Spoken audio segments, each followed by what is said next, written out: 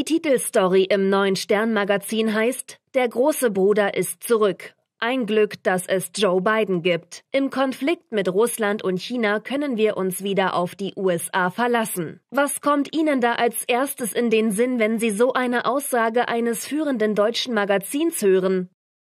The cover story in the new Stern magazine is entitled Big Brother is Back. It's good to have Joe Biden. In the conflict with Russia and China, we can rely on the USA again. What is the first thing that comes to mind when you hear such a statement from a leading German magazine? To be honest, the first thing comes to my mind is the look on Olaf Scholz's face when he was in the White House as Joe Biden announced that he was going to destroy uh, the Nord Stream 2 pipeline. Um, I, I mean that it's a priceless look. It's uh, it's the look of somebody who is uh, has been, you know, emasculated. Uh, somebody who's no longer a man. Somebody who's no longer a person. Somebody who's no longer an adult. Uh, so, the, in many ways, the Stern magazine cover is perfect uh, because it shows you know Joe Biden leading a child, um, and Olaf Scholz is a child.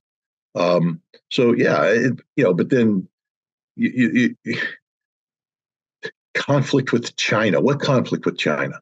Um, is, is Germany trying to predict a war between the United States and China? Does Germany not understand that um, they're already in deep trouble because of the proxy conflict that we've got them involved with in Ukraine? And um, a conflict with China would be the uh, stake through the heart of the German vampire. Um, you're going to die.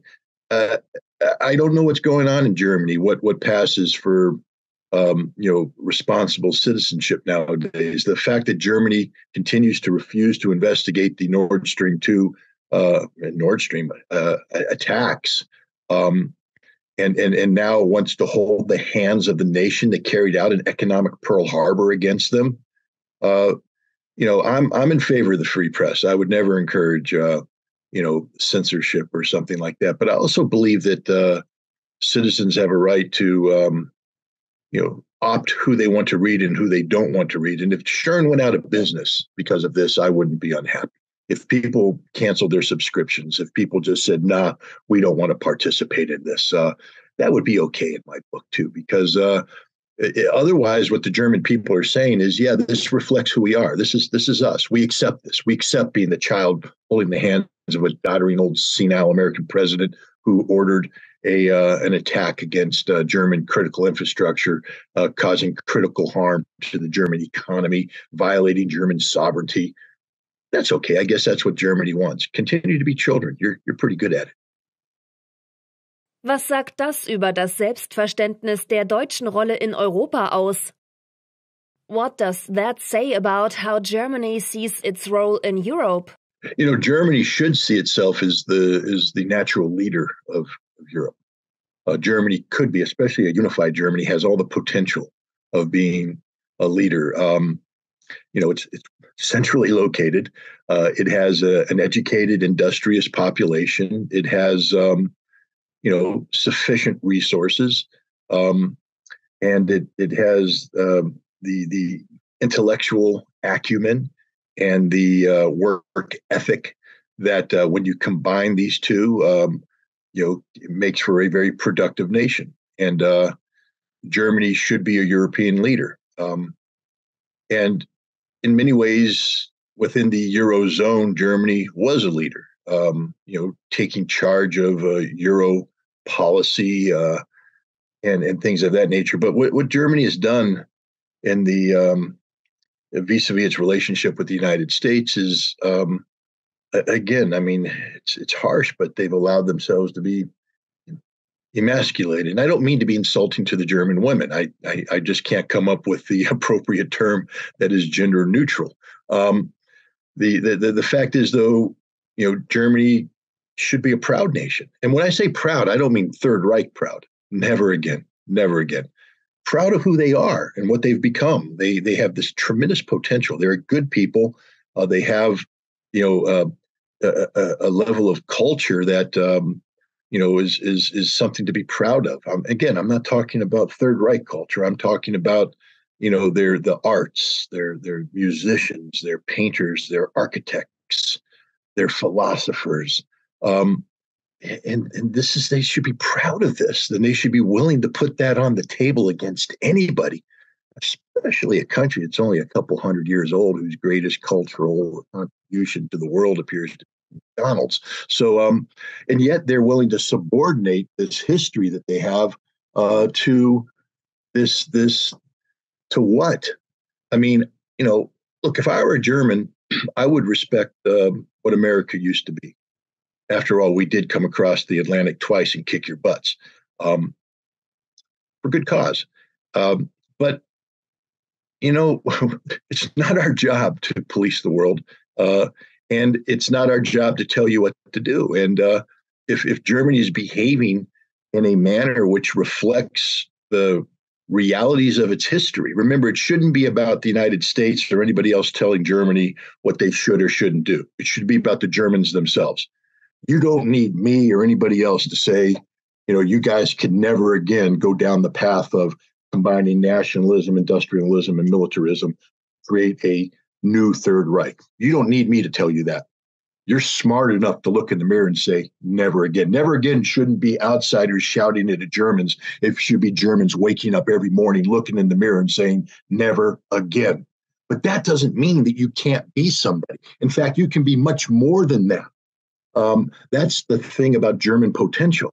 The potential of Germany to be this wonderful nation of culture, of enterprise, of industry, of you know imagination, um, is there. Why do you have to hold America's hand? Why? I mean, if you want to shake our hand, I'll shake your hand. I, would love to be friends with the Germans. Um, I'd love to visit Germany and tour Germany. I, I, live there. It's a wonderful country with wonderful people.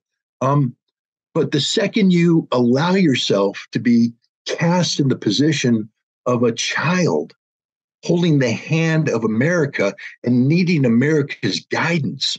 You know, if you follow America, you will get a conflict with China. You followed America and you got a conflict with Russia. Had you been Germany, you would have been able to stand up to the United States and say no when it came to the issue of Russian gas, because Germany knew that Russian gas was not a threat to Germany. Germany knew that Russian gas was the key to German economic success. There's a movie, uh, Love Actually. I know it's a fantasy movie. We don't, you know, people take, you know, we shouldn't be projecting Hollywood stereotypes into reality. But there was a scene there that was pretty cool. Uh, it's when Hugh Grant's uh, prime minister character uh, is standing up to Billy Bob Thornton's American president character. And um, it showed the United States coming in and trying to do what the Stern magazine is hold the hand of a lesser, guide them through this problem as the adult in the room. And yet, what the Hugh Grant character did is stand up and say, no, that's not how this works. Olaf Scholz had an opportunity to be a historic figure, a historic figure. Because when Joe Biden in the White House said, we're going to blow up Nord Stream, Olaf Scholz said, time out. Mr. President, I want to correct you right here now. You will never blow up Nord Stream. It's my pipeline. It's Germans, Germany's pipeline. It belongs to us. It does what we want it to do, and we alone make that decision. And if you attack it, you're attacking us act of war. In fact, is right now I feel a little bit of hostility, Mr. President. So I'm leaving the White House right now, and with me comes the German ambassador. I'm kicking your ambassador out, and you can reflect on this while I kick every one of your military guys out of the country too, because that's not what friends do. But America's not your friend. America doesn't want good things to happen to you. And this is the mistake. You see, when you view America as an adult and Germany as a child, the assumption in that isn't just a superior to a lesser, but a nurturing parent to uh, a, a, child that's being you know, educated and, and brought into adulthood. Hey, guys, Germany, you're adults. You don't need that relationship. And Joe Biden's not the nurturing parent. He's the evil guy that's leading you off to dark deeds. America doesn't like you. America doesn't support you. America attacked you. Let me say that one more time. America attacked you. Why would you hold the hand of the man who ordered an economic Pearl Harbor against Germany. So, I mean, that hopefully that cover provokes some people into, um, you know, realizing the absolute depravity of this relationship between the United States and Germany. Das britische Magazin The Spectator schreibt hingegen in seiner Titelstory, dass sich die Weltordnung nach den Vorstellungen des russischen Präsidenten Wladimir Putin ändert, weil die meisten Länder des sogenannten globalen Südens nicht dem westlichen Narrativ im Ukraine-Krieg folgen. Teilen Sie diese Einschätzung des britischen Magazins? On the other hand, the British magazine, The Spectator, writes in its cover story that the world order is changing according to the ideas of Russian President Vladimir Putin because most countries of the so-called global south are not following the Western narrative in the Ukraine war. Do you share this assessment of the British magazine? I've always shared this assessment. Um, fact is, before the war started, when the uh, United States and Europe uh, were speaking about um, uh, imposing stringent sanctions against uh, Russia, I predicted that these sanctions would backfire because the world is tired of sanctions. The world doesn't agree with an American uh, centric uh, world vision. Um, you know, we we've spoken for some time now. We, being analysts in the West, about the you know, uh, the, the, impending collapse of the West, uh, that the United States had run its course, and that uh, we were going to see the end of American uh, singularity and the beginning of a multipolar world.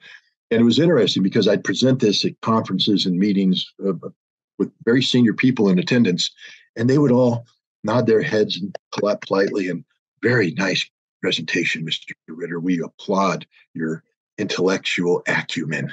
But see, I was speaking theoretically at that time. I was speaking about something that would happen down the road. It's happening right now. Around us, we see the end of the American singularity. We see the rejection of America's bullying uh, relationship with the world. We see the developing South, and it's interesting they call it the development South. I'd, I'd call it the developed South. Um, unlike that last magazine where you had the American adult holding hands, the out are grown people telling Uncle Joe, get away. We're on our own. They've grown up. They're behaving like adults. Hey, hint, Germany, that could be you too, but you opted out. Uh, but they they basically said, we're we're we're grown ups. We don't want to live in uh, Uncle Joe's basement anymore. Uh, we want to go out and be on our own and, and develop. It's happening as we speak, and for um, you know this this the, the the the British to finally wake up. It's it's a reality check. I mean, you you can only live behind um, a propaganda driven perception for so long. I mean, you know, you can sit in your house and you can look in the mirror and you can tell tell yourself all these things, but eventually you got to leave the house and there's a reality out there. And I think what's happening now is Europe um, is starting to wake up to the fact that uh, they bet on the wrong horse.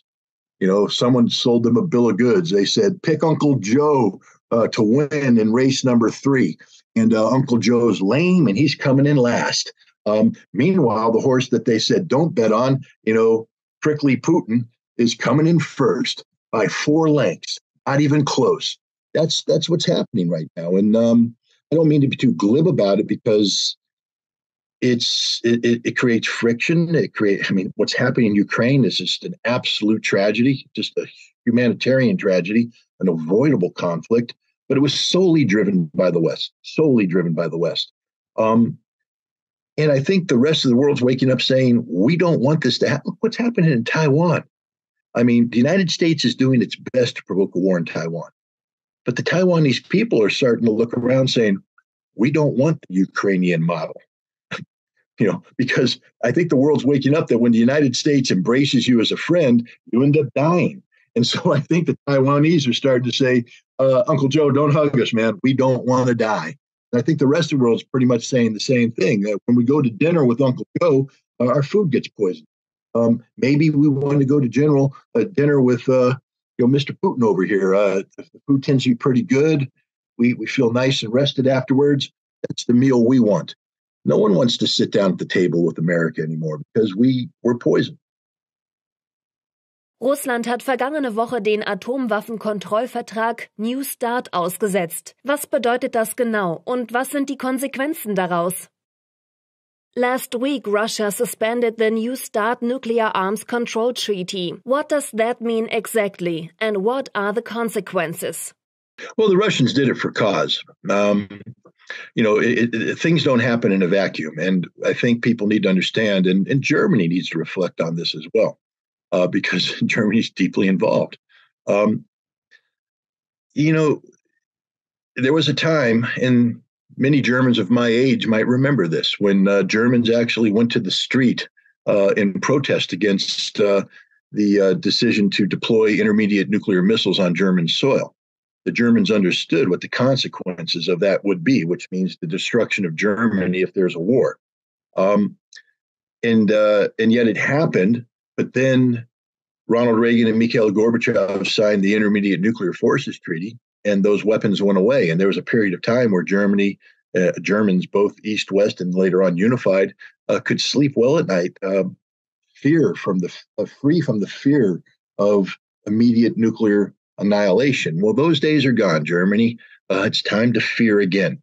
And again, don't blame Russia, blame the United States. The United States withdrew from the Anti Ballistic Missile Treaty in 2002 the United States forward deployed ballistic missile defense systems on uh, newly acquired NATO territory in Poland and Romania, lied about these systems, saying, oh, they're just for the Iranians. Well, no, it doesn't make any sense. The Iranian missiles aren't going to be shot down by these. Then they said, they're just for, uh, you know, they can only shoot down short range missiles. Don't worry about them. Two years later, we deploy a missile system that can shoot down intercontinental missiles. Uh, we lie all the time. Um, Germany. I just want to remind you, America lies every time they open their mouth. So just let's settle on that reality for a second. Um, we withdrew from the I, uh, INF treaty. We withdrew from it. And now we've strong armed Germany to join a NATO posture that speaks of the strategic defeat of Russia. Now, Germany, you might, I, I don't know how to say this in the German language, but let me tell you what strategic defeat of Russia means in the English language. And it means Russia is destroyed, that the current configuration of Russia is no more, that their government collapses, and that Russia is actually broken up into uh, smaller constituent parts. Or that's one outcome, or Russia is reduced to radio, uh, you know, radiological, um, radioactive waste by nuclear weapons, um, which means Germany will also be a heap of radioactive ash. That's what it means and you embrace this.